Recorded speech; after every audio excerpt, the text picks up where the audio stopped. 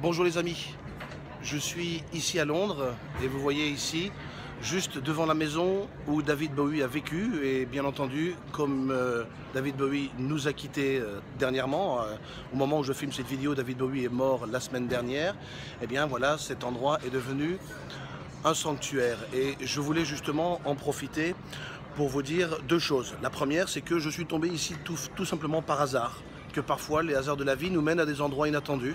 Et c'est en cherchant un restaurant dans cette rue, euh, dans cette rue qu'on voyait ici, très étroite de Londres, au centre de Londres, que je suis tombé tout simplement là-dessus et j'ai découvert que bien j'étais à un endroit où, auquel je ne m'attendais pas à arriver. Donc voilà, parfois les hasards des chemins nous emmènent à des endroits qui peuvent vraiment euh, nous, nous étonner, nous interpeller. Et c'est d'être toujours euh, en état d'accueillir les inattendus à bras ouverts. Et c'est ça aussi une attitude optimiste, quel qu'il soit, et essayer d'en faire quelque chose de bien. Et deuxième point que je voulais partager avec vous, c'est tout simplement la puissance que peuvent avoir les arts sur notre humeur, sur nos émotions.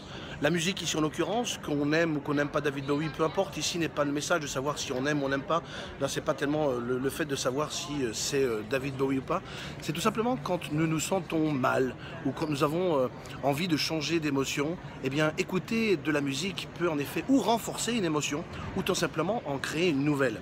Par exemple, quand on se sent mal, on a plutôt tendance à écouter une musique qui va plutôt nous tirer, voilà, qui va, qui va en fait amplifier notre, euh, notre émotion négative.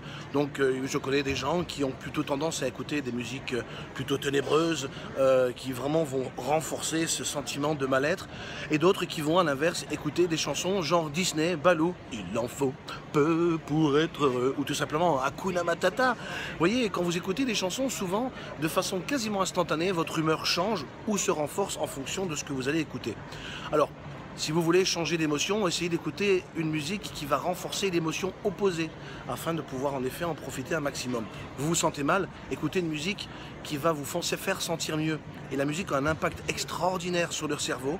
Et euh, voilà, parfois on néglige, on néglige vraiment cette, cette notion d'influence et d'impact que la musique peut avoir sur nous.